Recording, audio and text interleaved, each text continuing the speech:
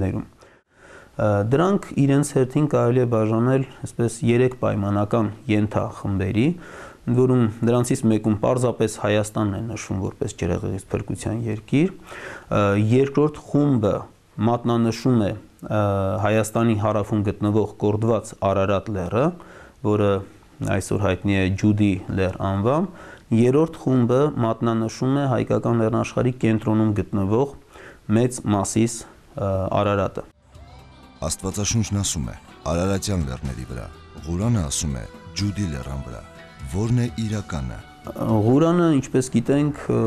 հին աշխարհի մասին պատկերացումները հիմնականում վերցրեց հին կտակարանից, քանի որ Մուհամեդ իր արջև խնդիր էր դրել ստեղծել մի կրոն, որ իր հետևից կտանի եւ հрьяաներին, եւ քրիստոնյաներին, եւ արաբներին։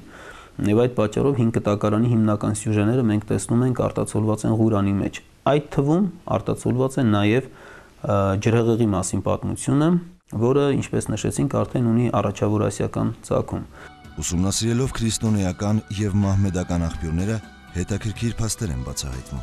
Արարատ լեռը թվում է առավել համոզիչ, քանի որ բոլոր խոշոր ուսումնասիրությունները, հետազոտությունները եւ վկայությունները կապված են այս լեռան հետ։ Իհարկե Աստվածաշունչը կոնկրետ չի մատնանշում Արարատը, բայց այն Արարատյան լեռներից ամենաբարձրն է։ Ոստի հենց Արարատն էլ համարվում է Աստվածաշնչյան լեռ եւ դարձել է տապանը որոնողների ուշադրության կենտրոնը։ Արարատը Թուրքիայում հայտնի է Աղրի դաղանունով, ինչը նշանակում է ցավի լեռ։ Այդ անունը Սարին վերագրել են թուրքերը կապելով իբր ինչ որ սիրո լեգենդի հետ, սակայն անկախ լեգենդից այն իրոք շատերի համար դարձել է հոգու ցավի խորհրդանիշ։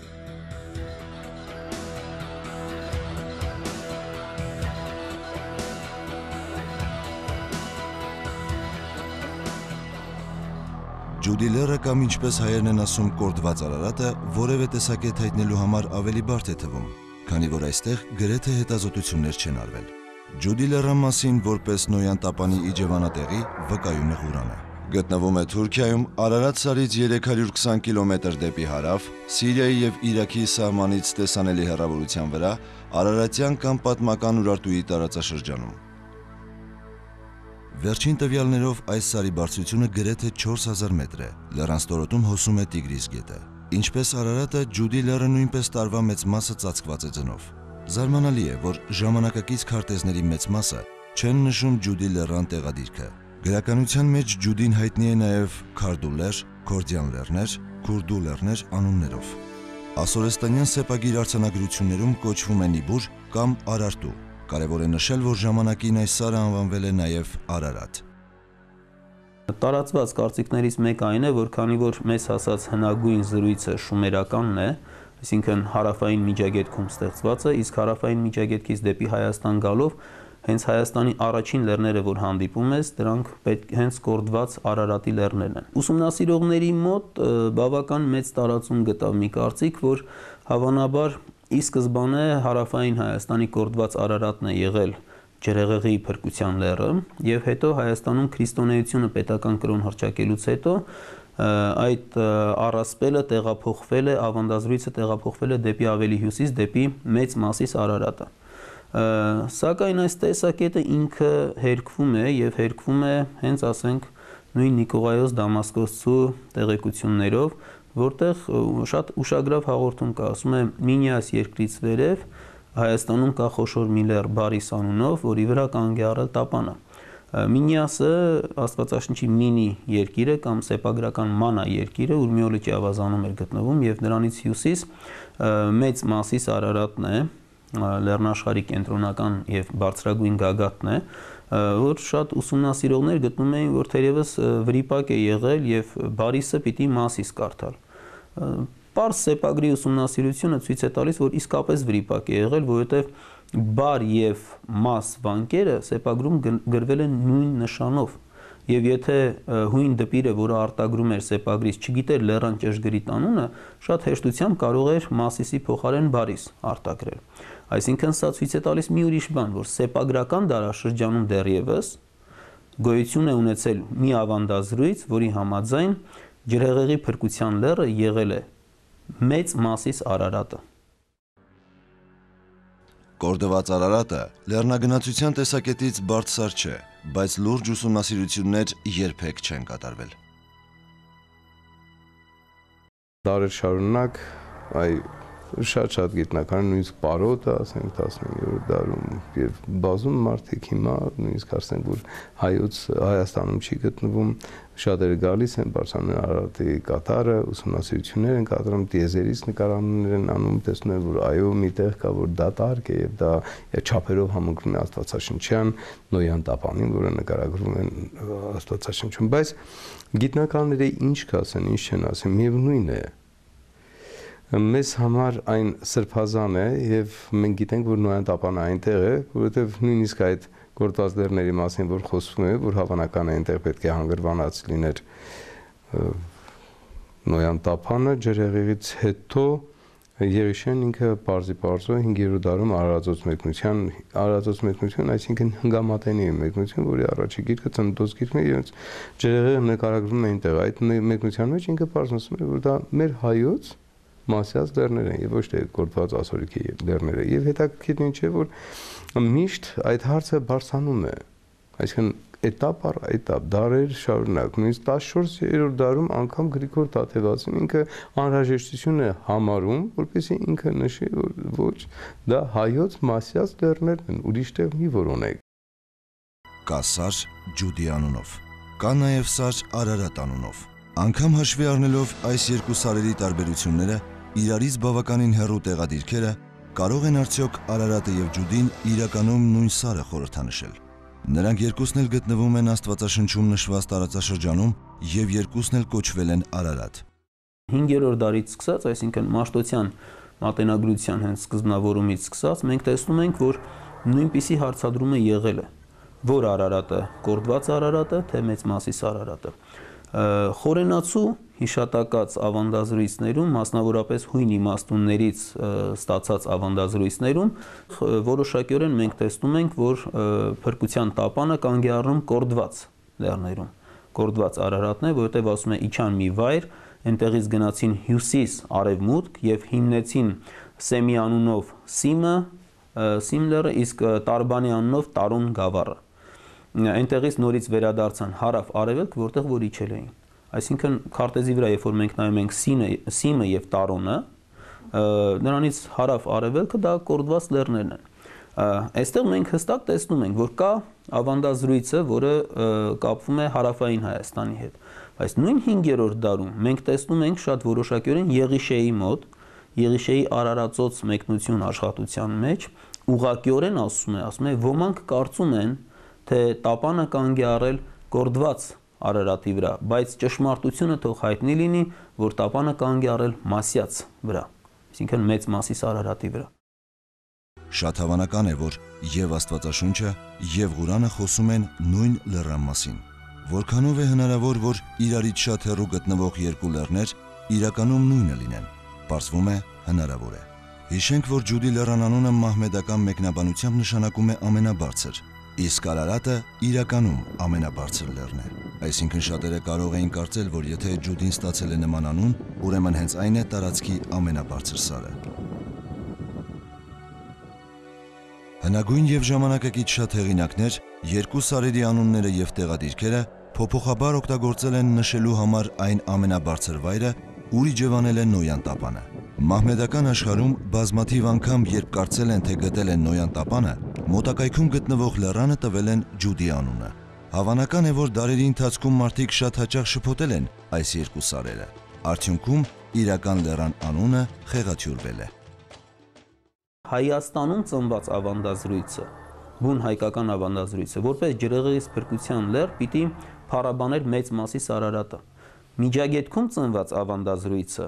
հարավային միջագետցիների համար, որոնք հայկական լեռնաշխարի առաջին գագաթը հենց հանդիպում էին կորդված Արարատը կամ Ջուդի լեռը, ինչպես Ղուրանում է, նրանց համար հարավային Հայաստանի Արարատն է։ Եվ սրանք վերջին հաշվով պետք չի հակասության մեջ դնել, որովհետև ի վերջո մենք գործ ունենք մի մեծ ավանդապատումի հետ, որը տարածված էր ամբողջ առաջավոր Ասիայով մեկ, որտեղ Հայաստանը համարվում էր սրբազան երկիր, արարչագործության երկիր եւ համաշխարհային ջրեղեղից հետո մարդկության վերածննդի երկիր։ Մինչ Ջուդի լեռան կամ Արարատ լեռան կողմնակիցները համոզված են, թե տապանը այդ լեռներից մեկի վրա է, Դյուրուպինարականները հաստատ գիտեն որտեղ է Նոյան տապանը։ Դյուրուպինարը կամ նավի նման սարատիպ հատվածը Իրանում ստացել է թուրք կապիտան Իլհան Դյուրուպինարի պատվին։ Նա նկատել է նավի տեսք ունեցող տարօրինակ գոյացությունը 1959 թվականին օթային քարտեզագրման ժամանակ։ Տարածքը գտնվում է Արարատ սարից 30 կիլոմետր հեռավորության վրա Իրանի սահմանին մոտ։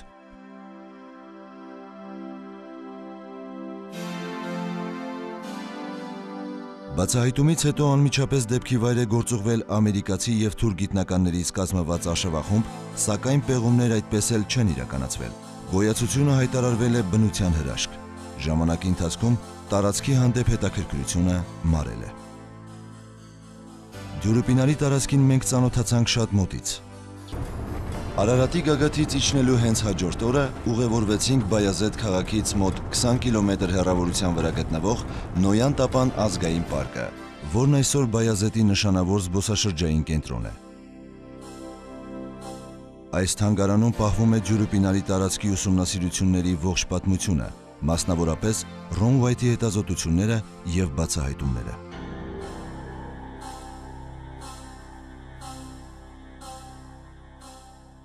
Ռոն Ուայթը հնագիտության կամ երկրաբանության մասնագետ չէր։ Նա բժիշկ անաստեզիոլոգ էր Մեդիսոնից, բավականին խարիզմատիկ եւ նպատակասլաց անձնավորություն։ Նա 27 տարեկան էր, երբ 1959 թվականին հայտնագործության մասին իմացավ թերթից։ Դյուրուպինարի տարածքը Ռոնի համար դարձավ մոլի գաղափար։ Նա գրեթե վստահ էր, որ գոյացությունը Նոյան տապանն է։ Ուայթը կարծում էր, որ բազմաթիվ հրաբխային ժայթքումների պատճառով տապանը չէր կարող պահպանվել Արարատ լեռան վրա, ուստի անհրաժեշտ է որոնել այլ վայրում։ Ռոն Ուայթի պատմությունը ներկայացնելու ժամանակ Ջուրուպինարի տարածքը մենք պայմանականորեն կանվանենք տապան, սակայն այդ փաստը թող ձեր շփոթության մեջ չգցի։ Մենք չենք հաստատում, որ Ջուրուպինարը Նոյան տապանն է։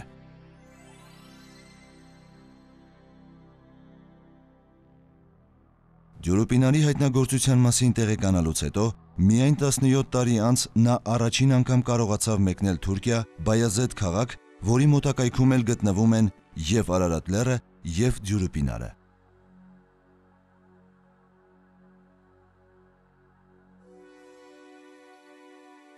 Բայազետում տեղաբնակները Ռոնին մեծ քարեր ցույց տվեցին, Նույն հետքերով գնացող մեր նկարահանող խմբին էլ ուղեկցեցին Ռոնի տեսած քարերի մոտ։ Քարերը գտնվում են Արզեկ գյուղում։ Այն հարցին, թե ինչ քարեր են սրանք, մեր ուղեկցորդ Ալադին պատասխանեց Ռոն Ուայթի խոսքերով։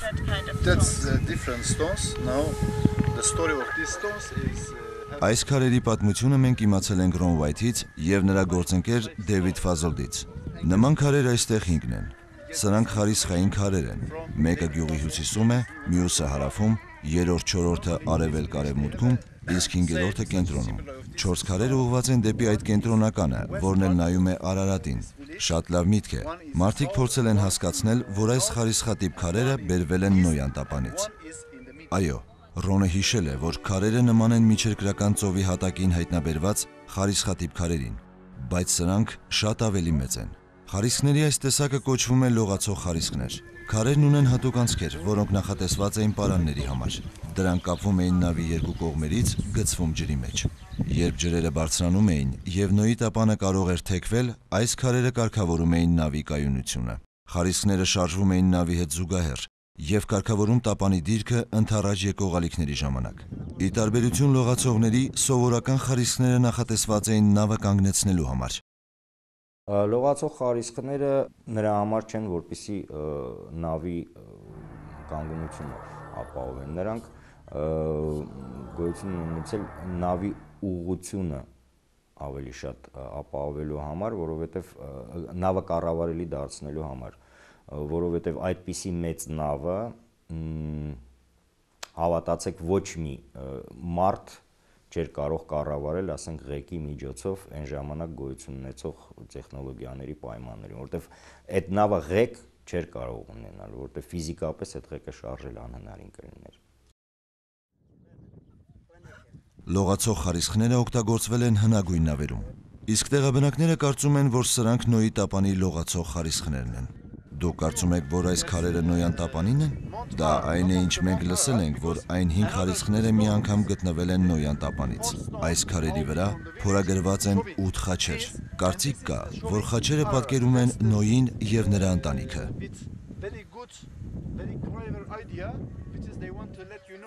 that's the Մենք շատ հետաքրքրված էինք քարերի տեսքով եւ նաեւ դրանց պատմության յուրահատուկ մեկնաբանությամբ։ Ոստի փորձում էինք հնարավորինս մանրամասն ուսումնասիրել եւ գրի առնել յուրաքանչյուր նոր փաստ։ Հանկարծ չգիտես որտեղից մի պատանի բավականին ագրեսիվ տրամադրված որոշեց կասեցնել մեր անկոչ մուտքն իրենց գյուղ։ Նա ցուցադրական շարժումներով եւ տպավորիչ բառաշարով սկսեց վիճել մեր ուղեկցորդի հետ։ Պատանին խոսում էր քրդերեն, բայց այնքան արտահայտիչ եւ զգացմունքային շեշտադրումներով, որ հասկանալու համար լեզուն իմանալու կարիք չկար։ Բովանդակությունը հետեւյալն էր. Ինչու է Ալադինը բավական չէ շփվում է Գյավուրի հետ, դեռ իրենց գյուղել է բերում նրանց։ Հետո նա ցուցադրաբար թքեց խաչերից մեկի վրա, իջավ ձիուց, պայթը կապեց խարիսխաքարին եւ որոշեց մոտենալ մեզ։ Check. No, ada gorba ku yaspi. No, no, no. He's thinking, uh, he say he's little bit. Kaftoyi. Այս ամենն արդեն մի փոքր անսպասելի էր։ Մենք կարծես թե ոչինչ չէինք արել, իրենք էին մեզ հետ շփվելու նախաձեռնություն ցուցաբերել։ Իսկ հիմա ակնհայտ ագրեսիա, որ չէր սաստվում ոչ ոքի կողմից։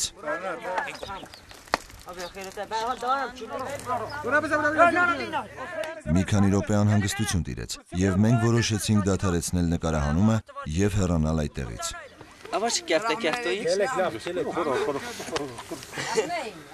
de abi tamam her her. Bu en bekçiye. Korucuya. Kurucuya. No, I just say, where's your father? He say, my father is in the town. He say, Elena is not coming. I say, Քիչ անց եկավ Ալադինի ընկերը, գյուղապետը, բարկացավ տղայի վրա։ Yavrum bırakçı Muhtar neyle? Muhtar neyle? Ասաց, որ անպայման նրա հորը կասի։ Տղան վախեցավ, հանգստացավ ու իր ձիով հեռացավ։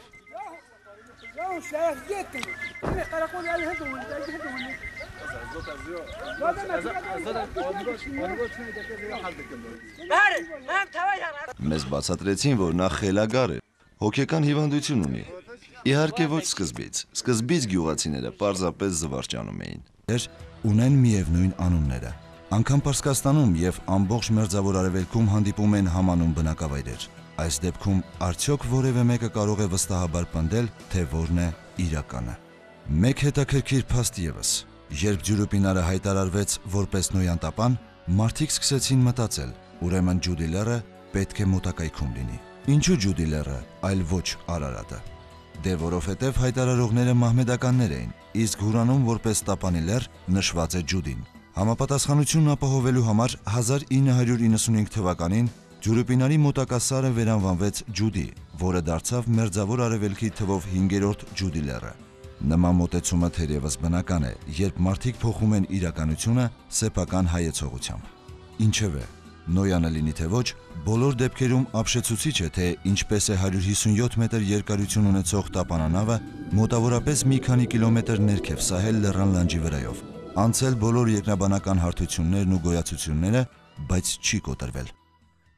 Չնայած Զյուրուպինարի տարածքը որպես Նոյան տապան հրճակել է Թուրքիայի կառավարությունը, այնուամենայնիվ բազմաթիվ թուրք գիտնականներ վստահ են, որ Զյուրուպինարը երկրաբանական գոյացություն է։ Նրանք գիտականորեն հիմնավորում են, որ գոյացությունը վերին լեռան մի կտորն է եղել, որը հողի սողանքի պատճառով սահել է ներքև եւ կանգ առել ներկայիս տեղում։ Այսինքն սա պարզապես բնության հրաշք է եւ ոչ թե մարդու կողմից ստեղծված։ Այս տեսակետին են հակված նաեւ մի շարք այլազգի հեղինակավոր երկրաբաններ, հնագետներ, ովքեր գրեթե ողջ կյանքը նվիրել են տապանագիտությանը։ Նրանք այս տարածքը համարում են զուտ տուրիստական հետաքրքրություն ներկայացնող վայր։